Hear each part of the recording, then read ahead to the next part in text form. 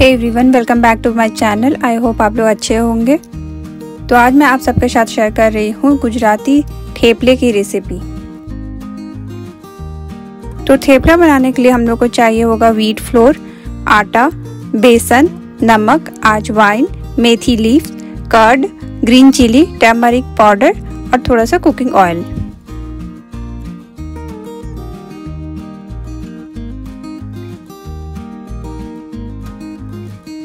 तो सबसे पहले मैंने यहाँ पे मेथी के पत्तों को अच्छे से वॉश कर लिया है और उसे चॉप कर लिया है।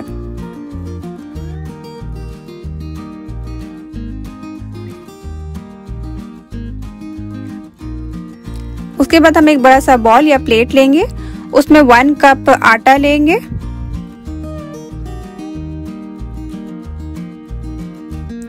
उसके बाद हम लोग उसमें टू टेबल स्पून बेसन ऐड करेंगे।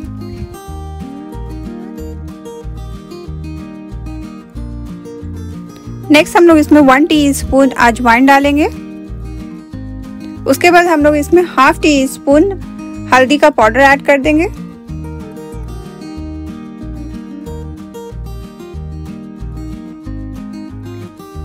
मैं यहाँ पे चॉप्ड ग्रीन चिली ऐड कर रही हूँ।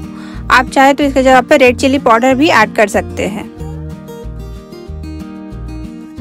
और फिर इसमें जो हमने मेथी के पत्ते को धोकर रखा था, वो ऐड कर देंगे।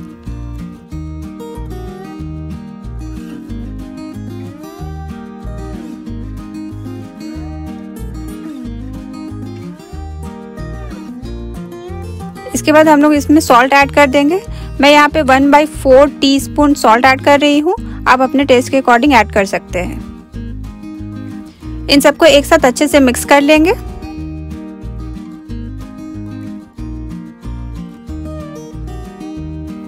इन सबको अच्छे से मिक्स करने के बाद हम लोग इसमें two table spoon curd add करेंगे। फिर कर्ड ऐड करने के बाद इसे अच्छे से मिक्स करेंगे। मेथी के पत्ते भी पानी छोड़ते हैं, इसलिए हम लोग काफ़ी ध्यान से पहले बिना पानी ऐड किए हुए इसे अच्छे से पहले मिक्स कर लेंगे। उसके बाद अगर पानी ज़रूरत पड़ती है तो हम इंक्रीमेंटल वे में पानी डालते हुए इसे आटा के डो बना लेंगे।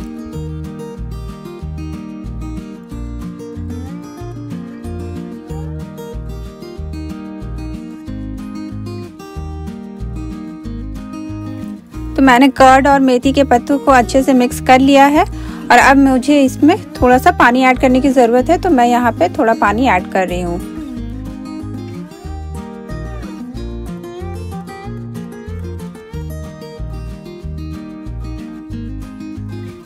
तो बस इसी तरीके से ये डो हमारा ऑलमोस्ट रेडी हो चुका है।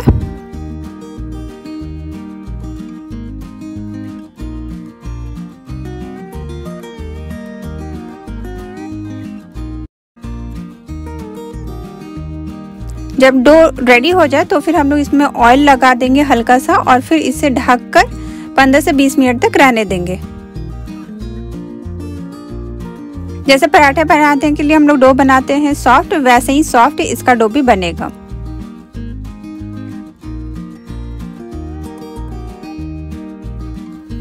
तो अब 15 से 20 मिनट हो चुके हैं। तो अब हम लोग चलते हैं थेपला को रोल करने की तरफ़। तो सबसे पहले हम लोग छोटा सा आटे का रोल ले लेंगे। जैसे हम लोग रोटी चपाती को बेलते हैं, वैसे ही इसे भी हम लोग सर्कल शेप में बेल लेंगे।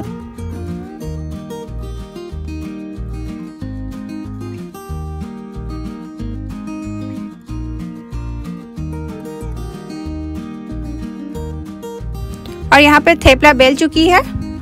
अब इसमें से एक्सेस जो भी ड्राई आटा है, उसे हम लोग हटा देंगे। आप कोई सा भी पैन ले सकते हैं। तो पैन को सबसे पहले हम लोग गर्म कर लेंगे और उस पर फिर हम लोग बेले हुए थेपले को रख देंगे। मैं यहाँ पे आयरन का तवा यूज़ कर रही हूँ। आयरन का तवा जो है वो हीट को अच्छे से रिटेन करके रखता है, जिससे कि हमारा रोटी इवेनली चारों तरफ़ से सीख जाता है। अब जब थेपले में बबल्स आने लगेंगे, तब हम लोग इसको फ्लिप कर देंगे।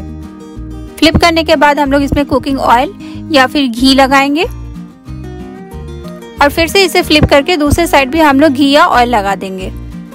और इसे जेंटली प्रेस करते हुए दोनों साइड से अच्छे से गोल्डन ब्राउन होने तक सेकेंगे।